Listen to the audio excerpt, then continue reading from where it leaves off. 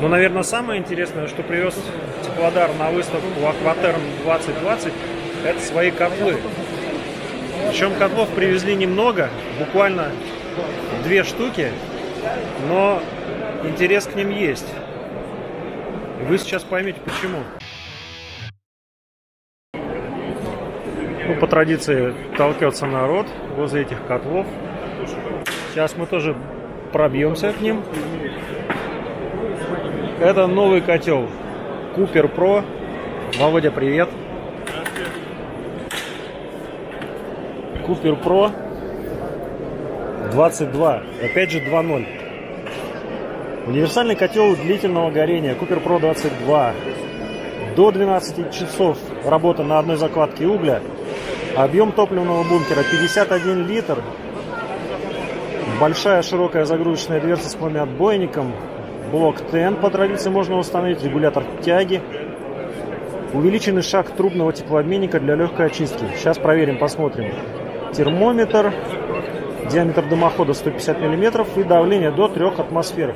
Масса котла 136 килограммов, мощность 22 киловатта, диаметр дымохода 150, площадь помещения до 220. Ну, сразу заметим, шагрень ушла полностью из дизайна котла. Глянец, такой графитовый глянец на верхней поверхности термометр. Тут же есть патрубок для отвода воздуха или установки элемента группы безопасности на левой поверхности. Все так же два выхода, обратка и подача. Штуцер для установки регулятора тяги. Но я-то уже этот котел посмотрел. Но, друзья, это уже не оранжевый цвет. Это цвет, который наверняка имеет свое собственное обозначение в таблице цветов RAW. Но мне он больше всего напоминает Цурик. Логотип, новый логотип Cooper Pro. Силиконовые ручки фирменные силиконовые ручки и большая, даже небольшая, а широкая дверца для загрузки топлива.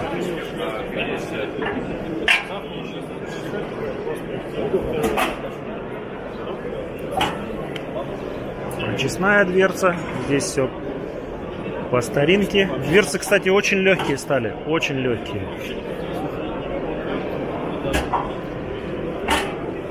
и дверца ящика зольника. Ну, здесь все элементы на месте. Обдувало. Подача вторичного воздуха. Петелька. Здесь петельку поставили. И что теперь мне с этой петелькой делать? Регулятор тяги цеплять. Что же еще? Теперь нужно регулятор тяги цеплять куда? И туда, и туда? А куда хочешь. Хочешь вниз, вниз хочешь вверх. А как рекомендует производитель? вниз в основном. Ладно, хорошо. С правой стороны элементов уже поменьше. Два патрубка для подачи обратки. На тыльной стороне выход дымохода.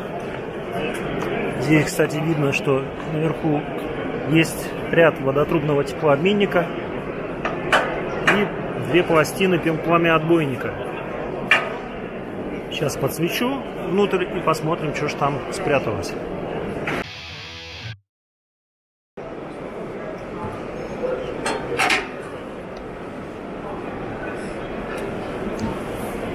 Водотрубный колосник. И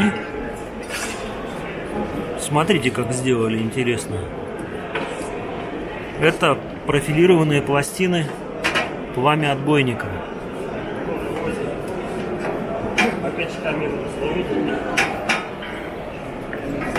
Давай, подержи. И заодно расскажи мне, почему вы сделали такими, такими пластинами пламя отбойник. Ну, во-первых, Вы, если, тип- вы типоходы там сделали как-то, нет? если говорить Точно, про да, топку, да. в принципе, увеличен объем топки, расстояние между теплообменниками тоже увеличено для Мгм. удобства прочистки. На этом те отбойнике имеется отгиб, чтобы увеличить длину хода пламени, соответственно, выше его завернуть. Это ключевое отличие топки.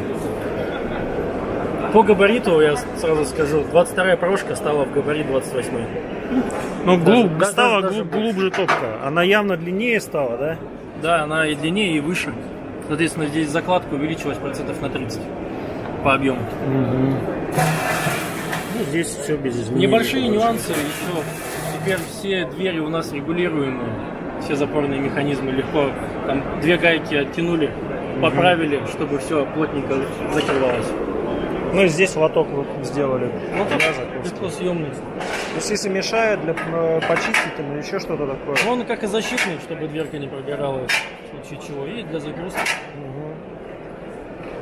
Мне показалось, что дверцы стали легче. Зря. Да? Есть нюанс, если посмотреть на верхнюю дверку, во-первых, она стала шире. Да, вот она Есть явно нюанс. отличается по ширине. Вот. Нижние дверцы, Средняя стала выше. Средняя По стала. габариту. То есть можно дровами полностью практически до пламяотбойника уложить и тем самым увеличить длительность горения на одной закладке дров. Верно, верно. Еще есть нюанс небольшой по ручкам. Здесь специальные шайбы проложены из антифрикционного материала. Называть не буду из какого. Поэтому будет плавно ходить на протяжении всего срока службы. Также легко подтягивается в случае чего. Регулировка также происходит и оси, если необходимо. Ну, Давай прикроем.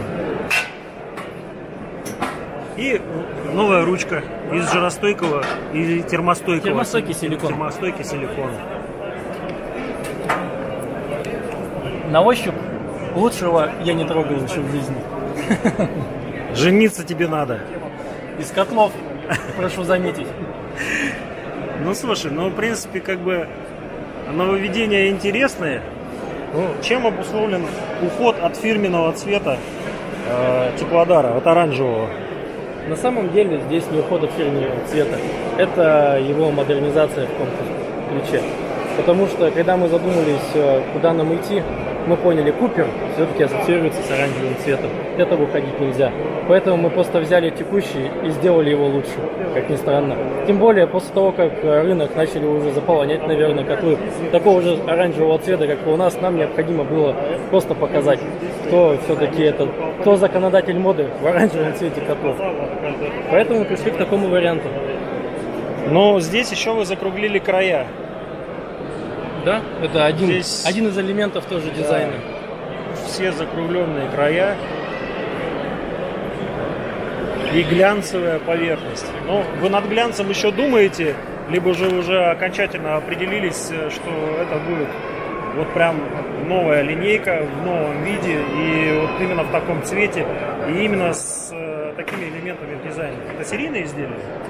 По сути, да, пока мы здесь стоим, общаемся, уже установочная партия изделий собирается, едет практически на склад, после чего мы начинаем их запускать в серию. Леш, а вот Cooper Pro 22 версии 2.0, он э, заменит э, в ассортименте компании э, предшественника?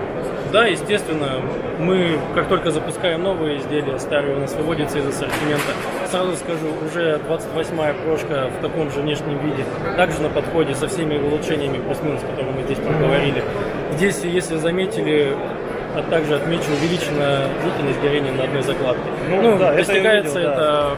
это увеличением объема загрузки. Да, простой геометрии решили такую сложную задачу. То есть, как бы это, ну, решение, которое лежало на поверхности, вы, собственно, его и доработали. Еще вопрос, а как это отразится на, на стоимости котла? Он явно стал больше, он стал больше весить, масса 136 килограмм у этого котла стала. По-моему, чуть меньше, там 110 где-то весит, да? Да, 22. Как это отразится на розничной цене? Розничная цена на старте, да и в ближайшее время без изменений. То, То есть, есть, она, э, она будет один в один с стоимостью котла, который до этого продавался серийно. Но есть нюанс. э, Здесь из комплекта поставки мы убрали блок тен. То есть, чтобы понимали. Ну, еще нужно понять, насколько он был востребован клиентами. Да, конечно, как аксессуар он остается, возможность его установки имеется. С этим ну, здесь также можно 6-9 киловаттный тен установить, но единственное, что я смотрю, э, выход патрубка стал меньше. Полтора дюйма? Сейчас. А, нет, полтора дюйма. Есть полтора дюйма, это наш стандарт на текущий момент. Ну, то есть максимально можно установить 9 киловаттный тен, потому что... Да, если не ошибаюсь, только надо проверить, пройдет ли он по длине. Я не хочу сейчас просто обмануть угу. людей. Ну, это мы посмотрим. Еще одна новинка, это Купер Мега. Ну, это прям целая-целая линейка, я так понимаю, открывается. И тоже котел в таких же, в новых фирменных цветах от Теплодара. Все-таки я предполагаю, что это новые цвета. И э, котел сверхдлительного вариативного горения. Я уже успел с ним познакомиться немножко так, когда сидел на стенде компании Теплодар, рассматривал ролик и какие-то краткие характеристики этого котла я уже успел уточнить.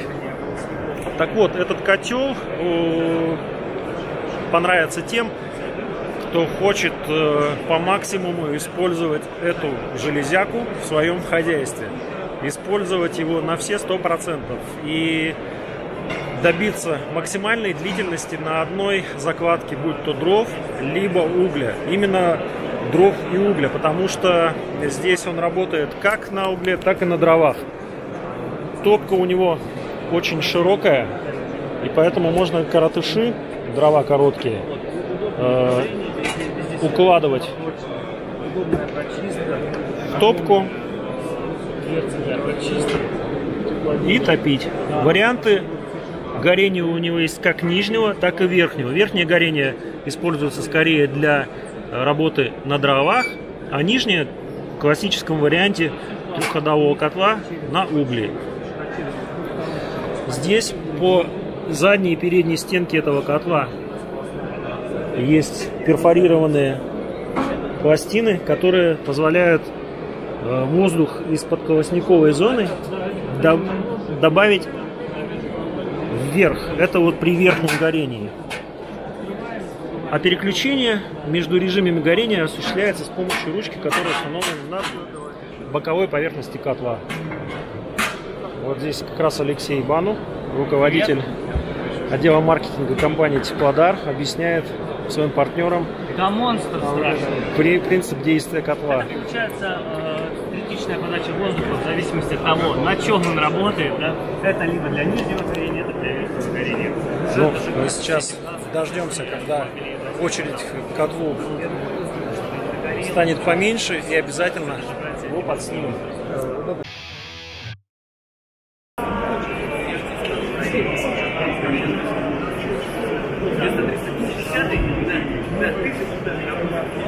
Купер Мега 20.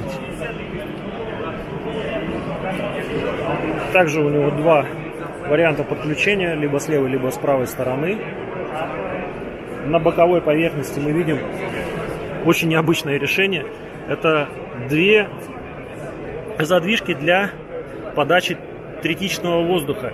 Причем они используются при разных режимах работы котла.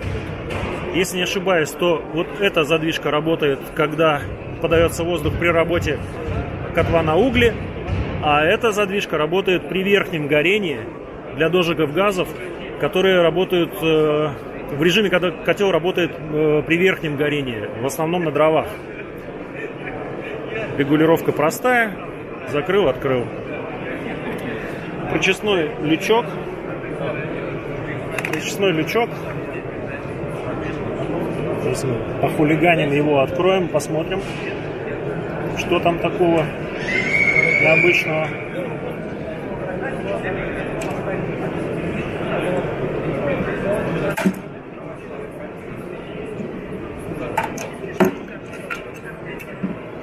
Простая конструкция.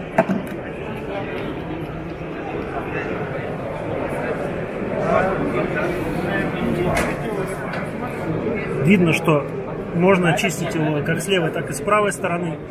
Тоже довольно удобно, если вы устанавливаете котел к стене, либо с левой, либо с правой стороны к нему подлезть в любом случае можно.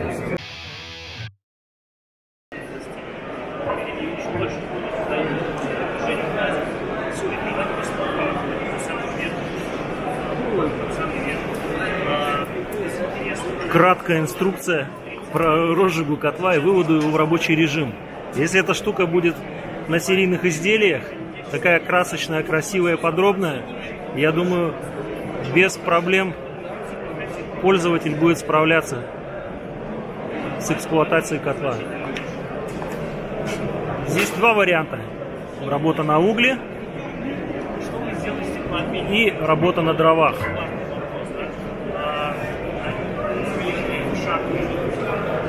Большой, большой рычаг э, шевеления углей. И вот с правой стороны, как раз э, то, что мы с вами смотрели слева, створка очистного лючка. В принципе, даже вот посмотрим на эту картинку, будет понятно, как котел работает. Видите, что дрова уложены плотничком. И котел работает в режиме верхнего горения. При этом также задействованы его два тыльных колодца.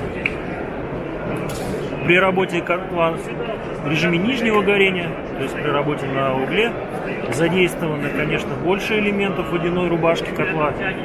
И я думаю, что в этом случае эффективность работы будет, конечно же, повыше.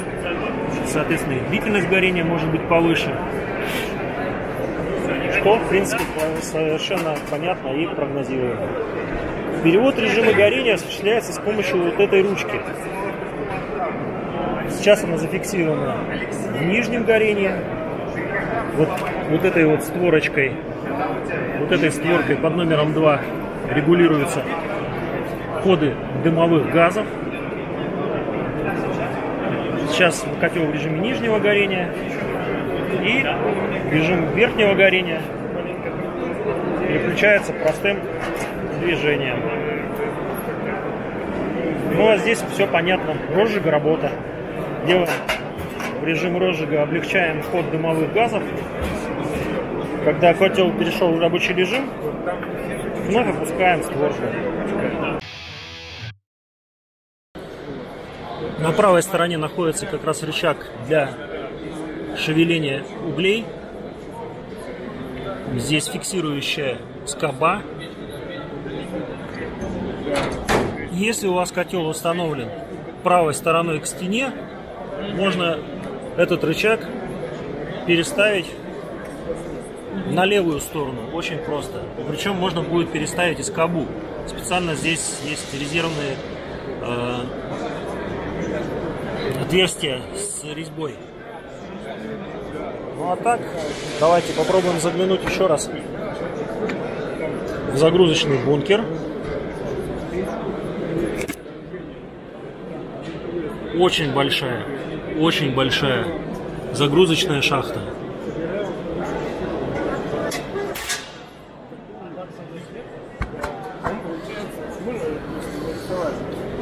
Конечно же, подача воздуха в колосниковую зону огромнейший, просто невероятных размеров ящик зольника. И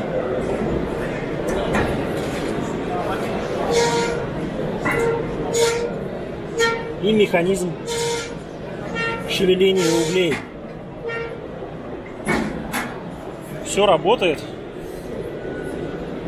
Все изготовлено очень качественно. Единственное, конечно, меня смущает глянцевая поверхность, потому что здесь остаются и пальцы, и царапки при перевозке наверняка будут, поэтому такое решение все-таки спорное. Но тем не менее посмотрим, какова будет судьба котла Купер Мега. Очень необычный котел. Здесь еще умудрились ставить патрубок для э, сбросника, чтобы можно было полностью избавиться от воздуха.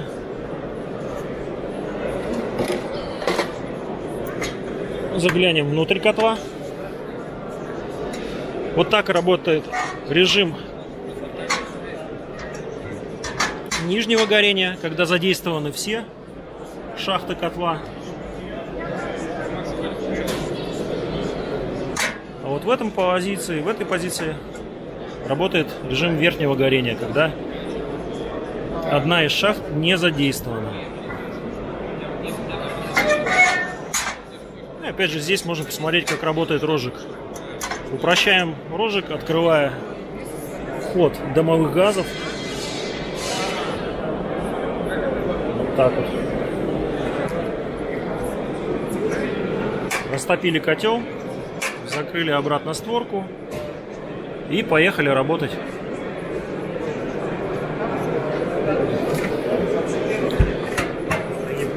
Я так понимаю, в комплект котла еще входит набор вот этих аксессуаров. Пока что неизвестная мне штука. Сейчас спросим, что это такое. Скребок с кочергой, шуровка и кочерга. Лен, что это такое? Вот это, вот вот штука. Да. Лист отсюда. А, сверху, да? Да, он А вот эта штука нижняя. Да. Это нижний для того, чтобы перекрывать горение на... Она тоже и устанавливается? Да, она устанавливается вот здесь. Пока пламя ставится сюда. Для того, чтобы Понятно. То есть э, для того, чтобы перевести кот- котел с одного режима работы на другой, все равно нужно его останавливать и устанавливать вот, эту Да, вот, вот этот лист. Ну ладно, Просто хорошо. один раз ты выбираешь изначально, каким режимом горения Я понял, либо да. верхним, либо нижним. Если пользуешься угольным, да, ты пользуешься. Соответственно, вот этот лист нам нужен только для того, чтобы защитить верхнюю Да, дверку от прогорания. Это отбойник пламени для вот этой вот Да, дверцы. абсолютно верно. Ну все, супер. Защитный лист. Друзья, ну мы будем вместе с вами активно следить за судьбой новых котлов от компании Теплодар. Посмотрим, как они в новой облицовке пойдут в продажу, как э, будет реагировать покупатель на эти котлы. Но тем не менее, конечно же, идея очень интересная сделать котел с максимальным объемом топки в своем размере и сделать при этом настолько эффективное горение, чтобы продлить работу котла на одной закладке дров до до скольки? До 36 часов. Именно эту цифру озвучивает производитель. Посмотрим, каков он будет в деле.